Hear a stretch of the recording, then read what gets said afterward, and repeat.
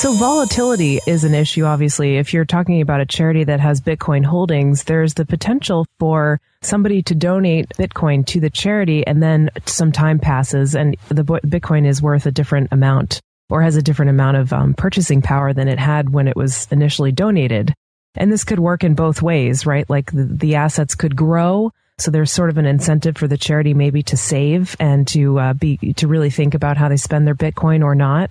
Or or Bitcoin could crash and then it could those donations could kind of shrink. You know, how do you see BitGive, I guess, dealing with that volatility factor? It sounds like you're splitting the holdings between Bitcoin and and other currency currently, but is that sort of the long term strategy to mitigate the volatility?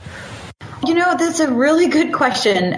A lot of these things we're still trying to find, um, you know, figure out a long term strategy and how we will address these things. But the short term, we are holding the donations we've received, and they have gone up significantly. Even with the latest dip, they're still seven times over what they were when we received them. Right. Yeah, that's pretty good. right, which is great. And, you know, until we have a process established for where, you know, how to decide where these funds go, we do plan to sit on those um, until we have a process established or some project comes along that makes a lot of sense. You know, it's it's a really good question. I think there are a lot of things we've been talking about at the board level about do we set a threshold below which we don't cash them out? Or do we do first coins in or first coins out? It's a very, very, very good question. And I think there's a lot of ways we could handle it.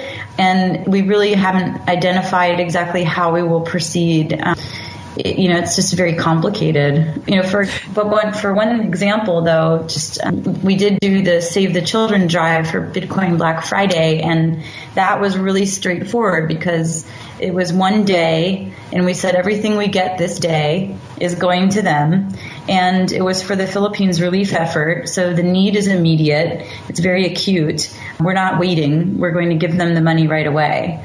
So mm-hmm. that was very straightforward for us. So you took in Bitcoin donations and then converted it to fiat currency and then sent that to the Philippines, or did you send the Bitcoins to someone in the Philippines and they converted it? How did that work?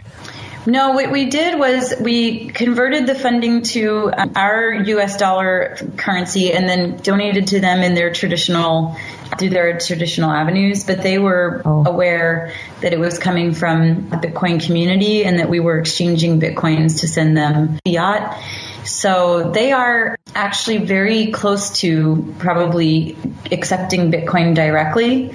But Save the Children is an extremely large, you know, international, well-known charity and yes. have a lot of questions and their, you know, legal folks and their finance folks have a lot of T's to cross and I's to dot. But they are, I think, going to be directly accepting Bitcoin pretty shortly. So then we could actually you know, be able to donate to them in Bitcoin, which would be really cool. Is part of the idea to increase acceptance of Bitcoins among accepting among existing charities? Um, you know, it's not a formal part of our mission, but it is something that just sort of naturally comes with the work. And I think it's fun, actually, because it's really interesting to get people more educated and knowledgeable about Bitcoin, um, helping them accept it in, in donations. You know, there's BitPay and I think Coinbase too, and other services that process donations in Bitcoin for free for charities. So it's really easy to kind of promote the use of it or help educate charities about using it. And it just kind of naturally comes with what we do.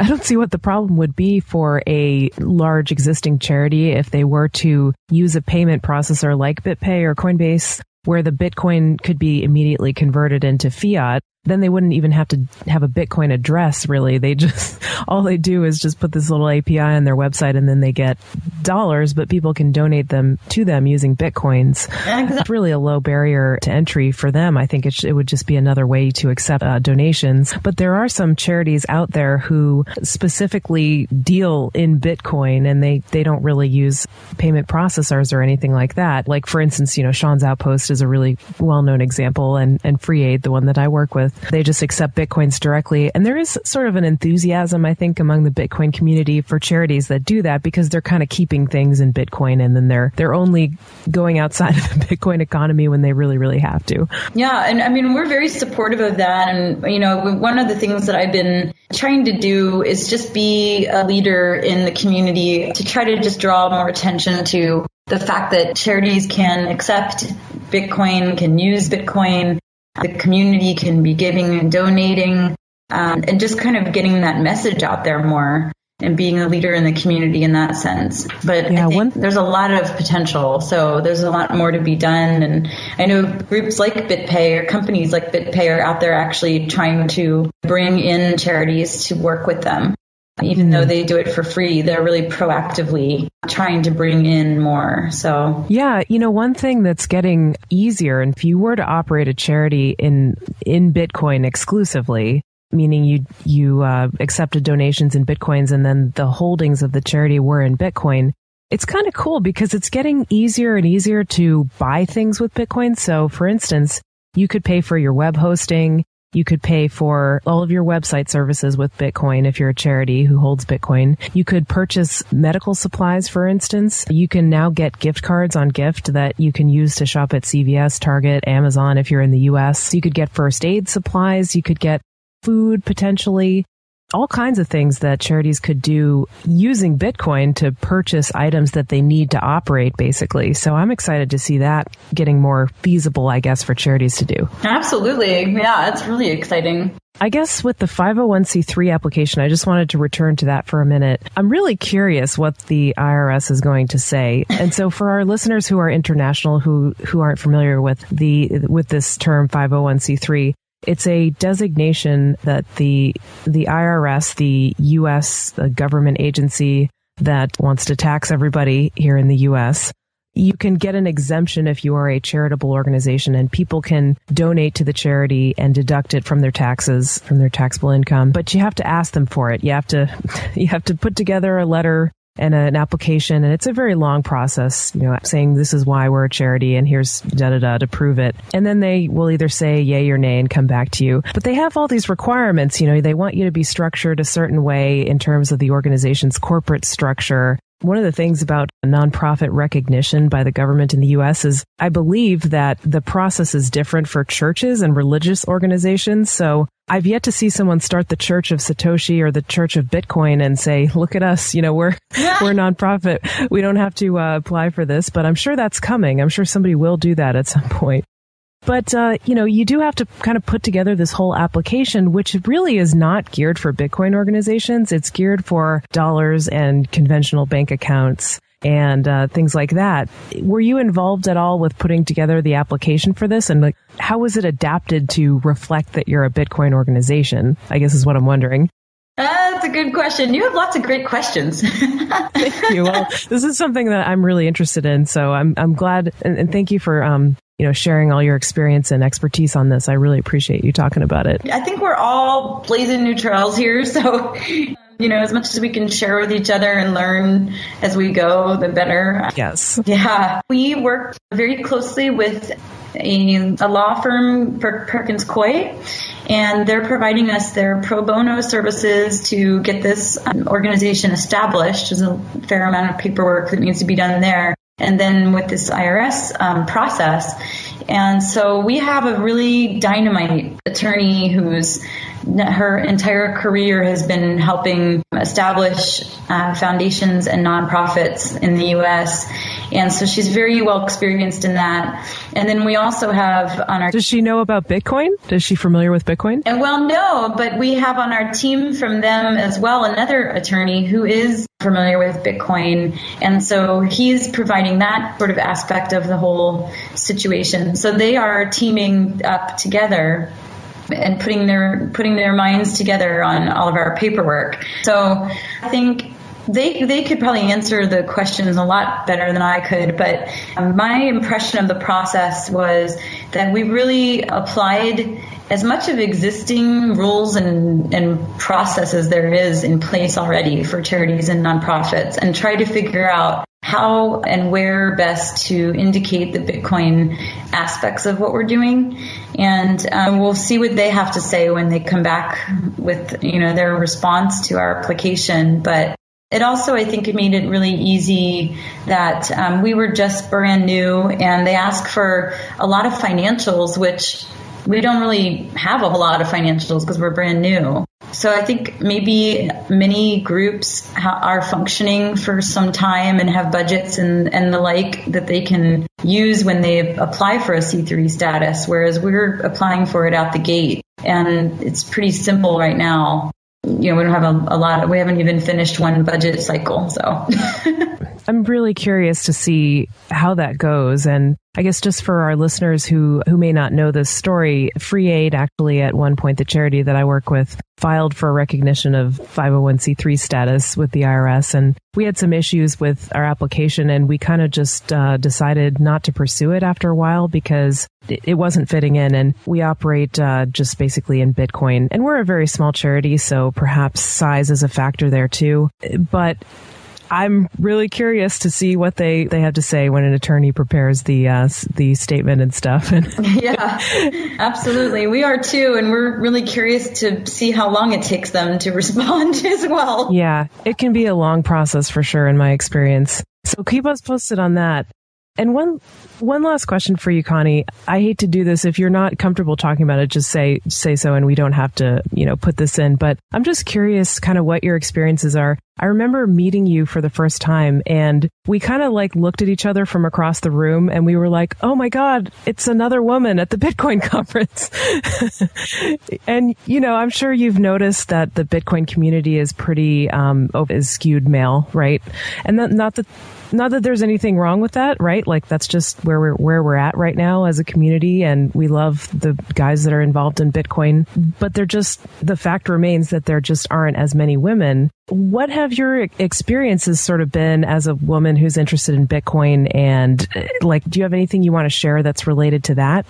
Well, sure. It's funny that you mentioned that when we first met because I really was overwhelmed by the fact that I was at this large conference and it was 98% male. And there were very few women. And when I saw you, it was like an oasis. I'm like, oh my God, there's another woman. This is like, so it, you know, that was just in May. And, and I've seen it change even, you know, since then, but there's, it's still maybe now 96% male. So, you know, it's still quite heavily um, weighed in that direction. And you know, it's understandable. It's a programming world. It's a finance world. And traditionally those are, you know, male um, focused career paths, if you will. But there's a lot of women in those fields. And I would love to see them step up and be more involved in the Bitcoin community. But there's also a lot of other aspects of Bitcoin that I think, you know, women can come in and provide a more well-rounded community. And, and people are starting to call the Bitcoin space is now the Bitcoin ecosystem. And,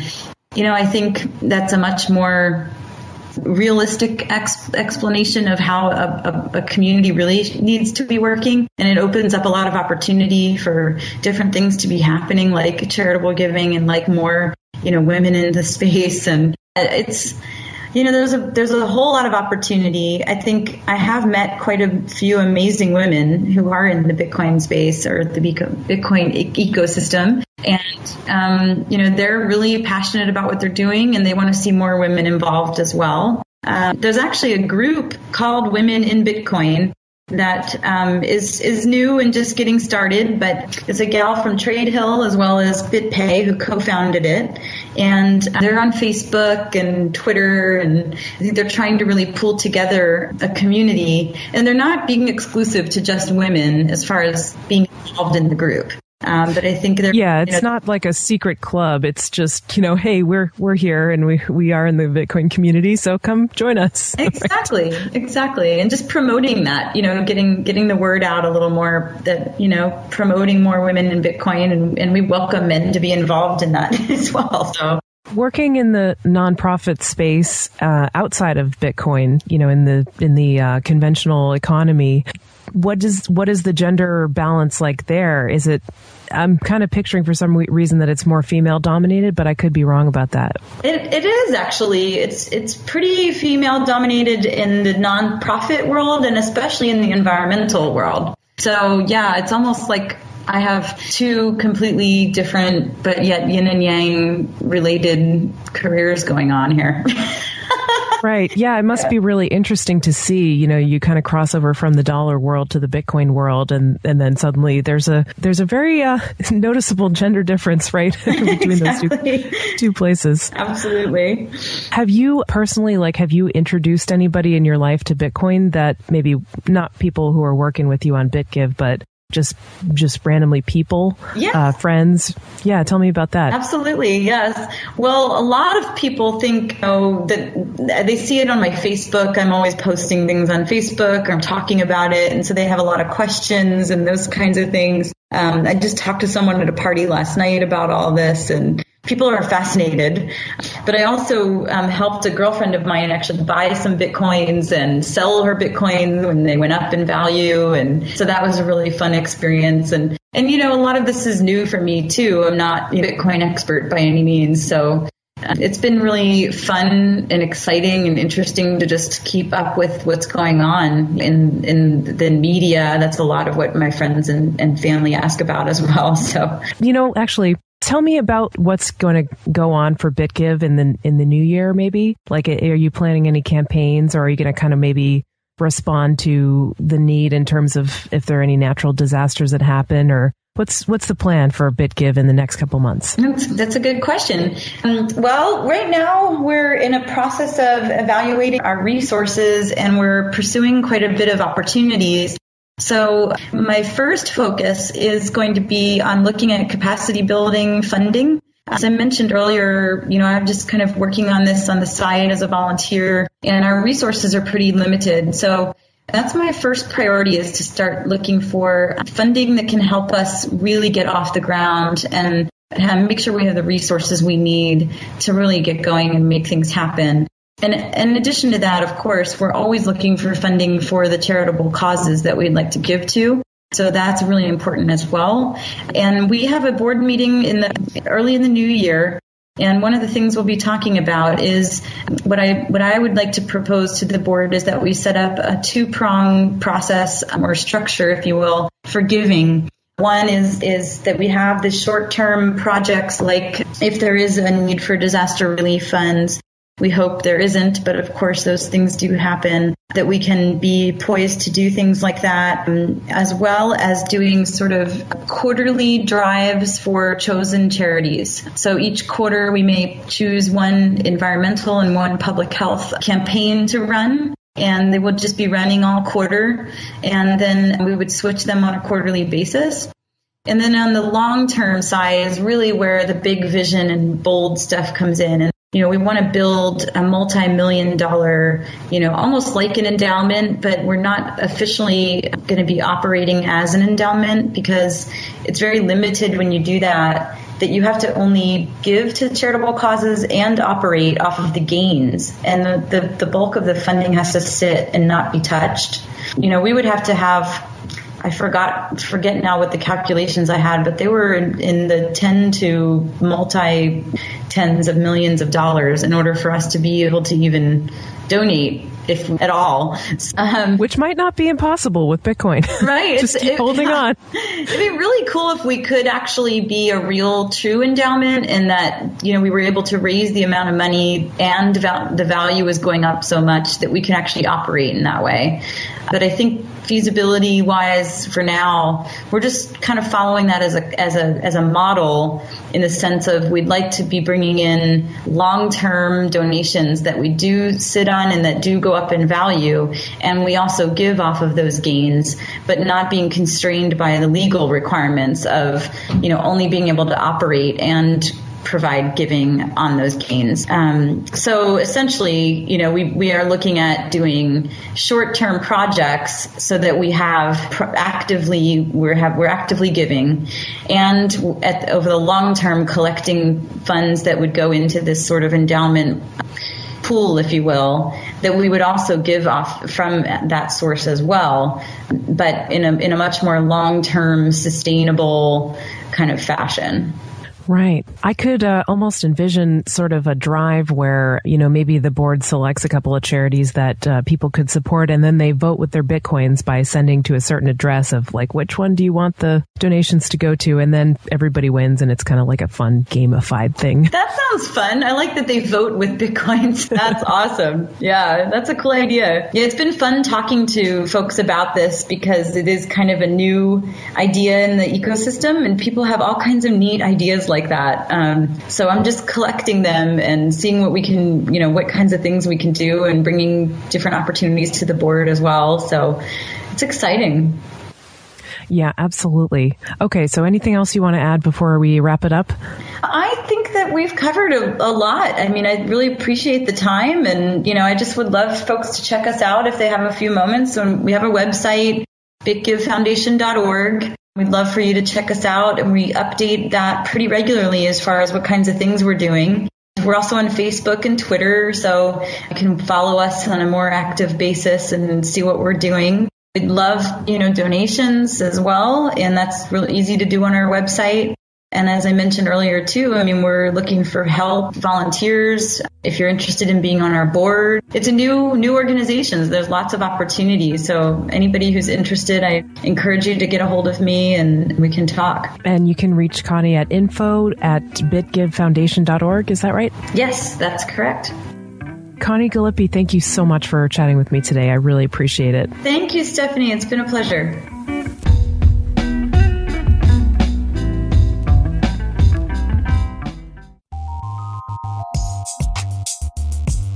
Hi, listener. Here at Let's Talk Bitcoin, we're building a global network of correspondents able to contribute on the ground perspective when cryptocurrency related information comes across their filters. If you'd like to join our global conversation, send an email with your name and geographic or cultural niche to apply at letstalkbitcoin.com. Just like Bitcoin, the only barrier to entry is your time and good work. Thanks for listening.